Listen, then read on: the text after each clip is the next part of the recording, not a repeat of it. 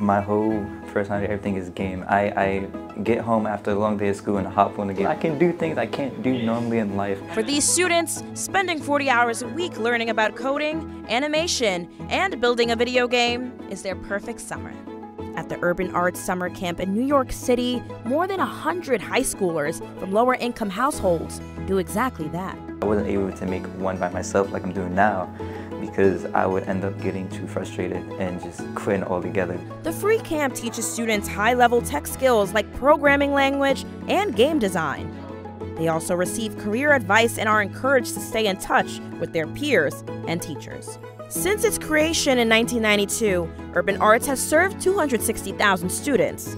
The College Access program began in 2017, and ever since, students have earned up to $25 million in scholarships and have all gone on to attend college. So I went to the NYU Game Center and actually went debt free, so I have no student loans because of urban arts. Data from the job research website Zippia shows video game designers in the US are about 68% white, 12% Asian, 9% Hispanic or Latino, and 6% black.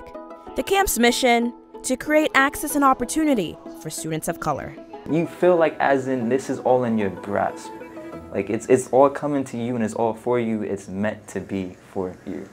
Many alumni return to give back to the camp. Darcelis Gutierrez still remembers when she was 16, living in Brownsville, Brooklyn, and scared to pursue a career in gaming. At Urban Arts, she is now a full-time faculty member. The second I got here, it was like magic. It was perfect for me. I felt like not only was I kind of exercising a part of my brain that I didn't realize needed exercising, um, but also the fact that I was able to be creative. She compares the creative process of making a video game to writing a journal entry, personal and cathartic.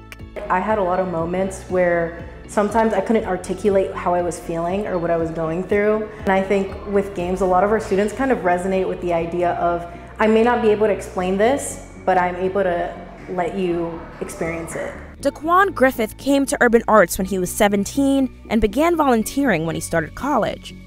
He says seeing his students tell their own story is the best part of teaching.